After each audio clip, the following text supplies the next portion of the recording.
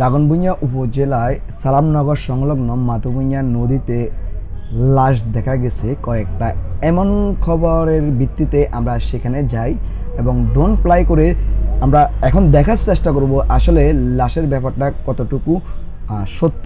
আমরা ড্রোন ভিউর মাধ্যমে দেখার চেষ্টা করব। আপনারাও বিষয়টা এখন একটু মনোযোগ দিয়ে দেখার চেষ্টা করবেন।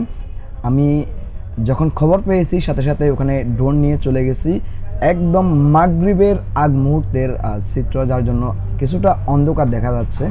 তারপর আমরা নদীতে একদম ঘেটে দেখব যে আসলে আহ, প্রত্যক্ষদর্শী যারা এটা দেখেছে বলতেছে লাশ দেখেছে এমনটা বলেছে তারা যেই লোকেশনটা দিচ্ছে আমরা সেদিকে যাওয়ার চেষ্টা করব এবং এর আশেপাশে খুঁজে দেখার চেষ্টা করব। তারা আমাকে জানিয়েছিল যে এই যে বিদ্যুতের পিলারের আশেপাশে যেই গাছগুলো রয়েছে গাছের পাশেই হচ্ছে যে লাশ দেখেছে তারা।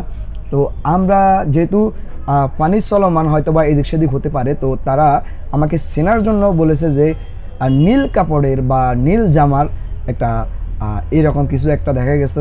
ওইটাকেই তারা মানুষের মরদেহ ভাবতেছে বা ধারণা করতেছে।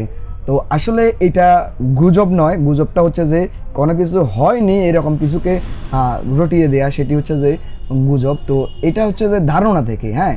যেহেতু ওখানে প্রচুর পরিমাণ গন্ধ, বাস, দুর্গন্ধ আমরা, আমি নিজে গিয়ে ওখানে পেয়েছি।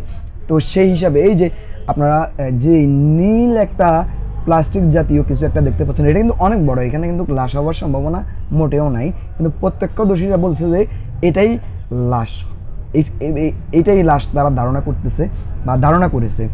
তো আমি এইটা একটু স্লো মোশনে আপনাদেরকে জুম করে যদি দেখাই, তাহলে আপনারা বুঝতে পারবেন। এই যে কত বড় একটা জিনিস, এটা আমার কাছে প্লাস্টিক অথবা নেট মনে হচ্ছে, তবে ভিতরে কিছু একটা আছে।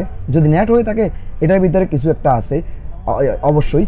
তবে সেটা হতে পারে কোনো মরক কিংবা এই ধরনের কিছু। আমি জুম করে আপনাদেরকে দেখিয়েছি, এ পর্যন্ত যতটুকু আমি ঘুরে দেখলাম, আমার কাছে মনে হয়নি যে এইখানে এক্স্যাক্টলি তারা যেই প্রত্যক্ষদর্শীরা যেই লোকেশনটা দিয়েছে, যে এই স্থানে আমরা লাশ দেখেছি, কিন্তু এমন কিছুই আমরা দেখতে পাইনি। তো আপনার, আপনারা আতঙ্কিত না হয়ে যদি সন্দেহ লাগে ভিডিওটা পুনরায় আরেকটু স্লো মোশনে আপনারা দেখার চেষ্টা করবেন। আমার কাছে মনে হয়নি যে এটি লাশ, আপনারা দেখতে পাচ্ছেন। এই মুহূর্তে মাতুভুঁইয়া যে এই ব্রিজটি রয়েছে, সালামনগর সংলগ্ন এই ব্রিজের উপরে জড়ো হয়ে গেছে লাশের সংবাদ পেয়ে। আরও অনেক মানুষ ছিল এখনও আছে আমার সামনে আমি যেখান থেকে ডোন প্লাই করতেছি এখানে অনেক মানুষ। যাই হোক, এই ছিল তথ্য আমার কাছে, আমি এইটুকু আপনাদেরকে দিলাম। হয়তো বা সত্যি হতে পারে, আবার নাও হতে পারে। আর যদি লাশ হয়, তাহলে তো আমরা পরবর্তীতে জানতে পারব, সেটি আপনাদেরকে জানাব।